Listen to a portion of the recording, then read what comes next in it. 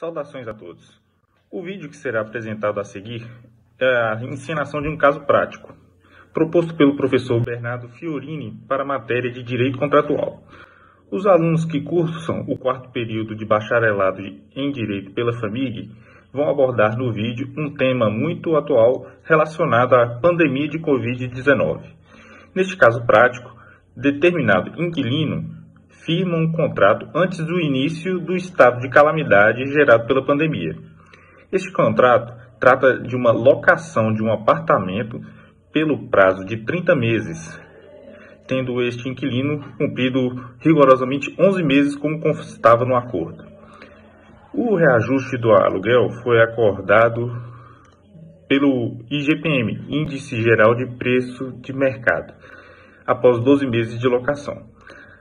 Infelizmente, em razão da pandemia e principalmente em relação à alta do dólar, esse índice chegou à casa dos 30%, sendo que antes da pandemia girava em torno de 5%.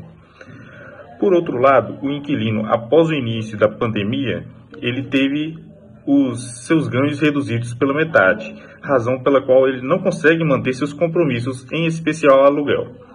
Então, durante o vídeo, nós vamos perceber qual é a solução jurídica para essa situação. Vamos lá?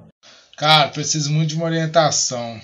Com essa pandemia, o serviço lá mandou geral embora.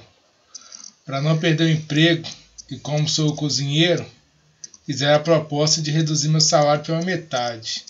Eu tive que aceitar. Né? Nessa crise, é melhor do que eu ficar desempregado.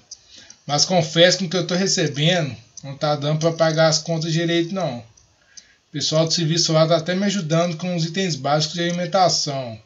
Arroz, verdura, legumes, ovos, até carne deixam trazer para casa às vezes.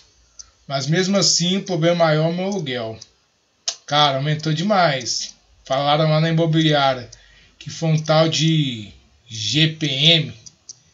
Não dá, não dá. Tô tendo um ano e meio já Nunca trazem um aluguel sequer, mas depois de esses 12 meses aí, teve um aumento absurdo. Parece que mais de 30% de aumento, né?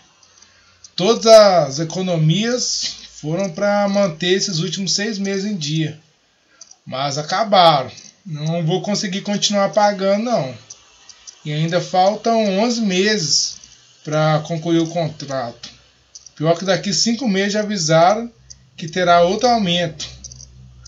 O pessoal da imobiliária até diz que eu posso sair e procurar outro lugar para morar. Mas mas em conta, né? Mas eu vou ter que pagar uma multa muito alta. Não tenho dinheiro e não sei o que fazer. Preciso de orientação. Me ajuda aí, por favor. Senhor, não se preocupe. Nós temos os meios legais de resolver o seu caso dentro do Código Civil. Os artigos 478, 479 e 480 do Código Civil tratam exatamente do seu problema, que é a resolução de contratos pela onerosidade excessiva, isto é, a partir da teoria da imprevisão, né, a teoria do rebus sic stantibus, conseguiremos resolver essa sua má sorte. Me corrija se eu estiver enganado, mas pelo que eu entendi, o senhor está num contrato de execução sucessiva. No curso do seu contrato, houve uma alteração nas condições econômicas fazendo com que o senhor viesse a ter dificuldade no cumprimento das obrigações. As prestações a qual o senhor deveria cumprir passaram, então, a ser excessivamente onerosas, diante da nova situação a qual o senhor se encontra. E, por fim, o senhor manteve a adimplente esse tempo todo. Contudo, a imprevisibilidade da nova situação econômica, devido aos acontecimentos extraordinários relacionados à pandemia do Covid, dificultam até impossibilitam que essa adimplência se perpetue. Estou correto em minhas observações? Hã? Não fique desamparado. A pandemia pode afetar mais do que só a sua saúde. A pandemia trouxe muitas dificuldades, afetou a saúde de milhões de pessoas, como também a vida familiar, financeira e social. Salário reduzido versus contas duplicadas? Estava com as contas em dia, mas a pandemia deixou suas contas atrasadas?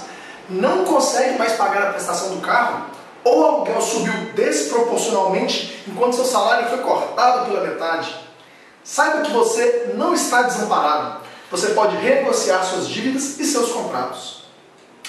Vivemos em dias difíceis. Empresas fechando, comércios falindo, serviços parando.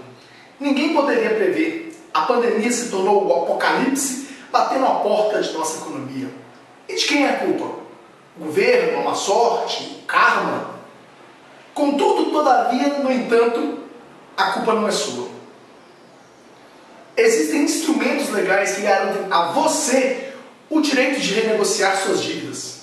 Não se pode aceitar dois pesos e duas medidas. O banco não pode exigir seus lucros enquanto você está no prejuízo. O proprietário não sairá na vantagem das taxas públicas enquanto você fica sem dinheiro para o básico. Se o motivo das suas dificuldades foi a pandemia e você estava em dia com suas contas antes de tudo isso acontecer, saiba que você tem opções. Você pode reincindir seu contrato sem pagar multas ou qualquer outro valor. O dono do seu imóvel poderá reduzir ou até mesmo cancelar os aumentos previstos pelos índices inflacionários.